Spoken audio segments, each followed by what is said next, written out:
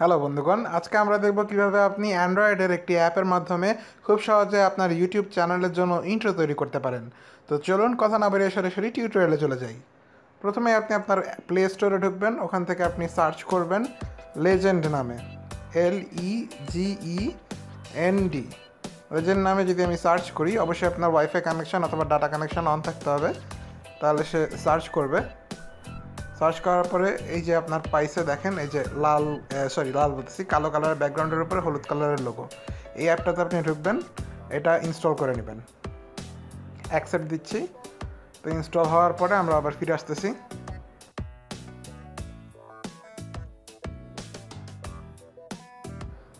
জি, আমাদের অ্যাপটা ডাউনলোড হয়ে গেছে, এখন ইনস্টল হচ্ছে।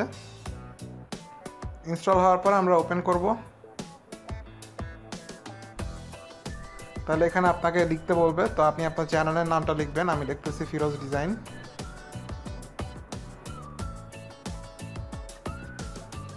দেন আমি এখানে টিক চিহ্নটা দিব, এখানে আরও কিছু অপশান আসবে।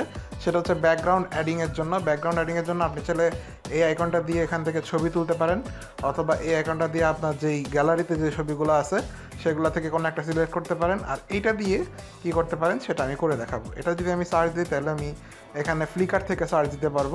তো আমি এখানে ফ্লিকার থেকে যদি ব্যাকগ্রাউন্ড লিখে সার্চ দিই এন্টার দিলাম। তাহলে দেখেন, সে ফ্লিকার থেকে ব্যাকগ্রাউন্ড ট্যাগ দেওয়া যত ইমেজ আছে, সেগুলো সার্চ করবে। দেখছেন? তো আমার কাছে এটা ভালো লাগছে, মনে করেন আমি এটা সিলেক্ট করলাম।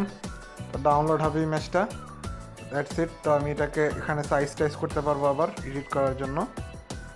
তো আমি এখানে একটু সাইজ করলাম, একটু ঘুরাইলাম। সোজা করলাম আর কি, মূলত। তারপর আমি এখানে টিক দিয়ে দিলাম। আচ্ছা আমার লেখায় ভুল আছে এখানে এফ পরে নাই। এফটা ঠিক করে নিলাম ফাইরোজ ডিজাইন ওকে এবার যদি আমি আমার মাঝখানে প্লে বাটনটা ক্লিক করি, তাহলে দেখেন এটা অন্য একটা ট্যাবলেটের মতন বা অন্য একটা জায়গায় চলে আসছে। এখন আপনি এখানে যে সেটিং বাটনটা আছে এটাতে ক্লিক করে আপনি ল্যান্ডস্কেপ করতে পারবেন আর এখানে রেজুলেশন এক হাজার আশি পিক্সেলে নিতে পারবেন। আমি এখানে এক হাজার আশি পিক্সেল আর ল্যান্ডস্কেপ দিয়ে ওকে দিলাম। দেন আমরা যদি নিচের রোলটাতে ক্লিক করি, তাহলে দেখতে পারব এখানে অনেকগুলো অপশান আছে কালারের জন্য। তো আপনি আপনার পছন্দসই কালারটা নেবেন।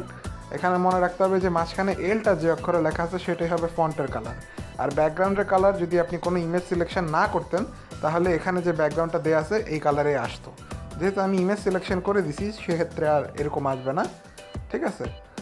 তো আপনারা একটু দেখবেন যে ইমেজ সিলেকশন না করে যদি আপনি প্লে দিতেন, তাহলে কেমন আসতো? আগে এটা দেখে নেবেন। হয়তো আপনাদের কাছে ওইটা ভালো লাগতে পারে বাট আমার কাছে এটা ভালো লাগছে, এই কারণে আমি এর করে রাখছি।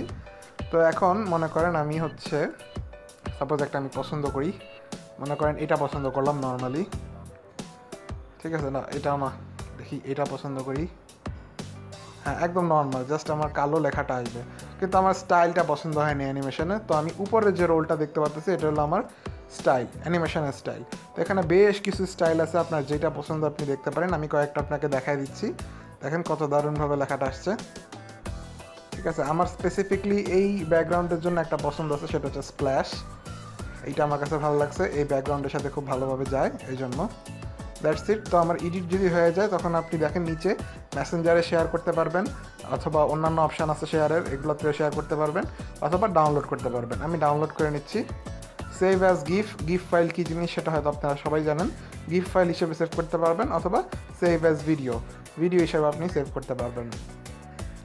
আচ্ছা এখানে এটা রেন্ডার হচ্ছে রেন্ডার হওয়ার পর আপনার গ্যালারিতে এটা সেভ হয়ে যাবে।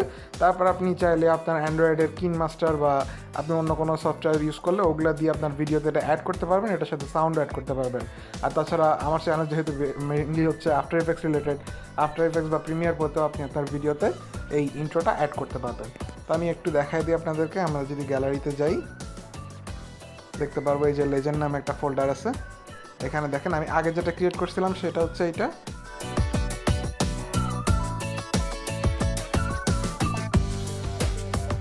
তো বন্ধুগণ, আশা করতেছি ভিডিওটা আপনাদের কাছে ভালো লেগেছে। ভিডিও ভালো লাগলে লাইক করুন, কোথাও বুঝতে অসুবিধা হলে কমেন্ট করুন।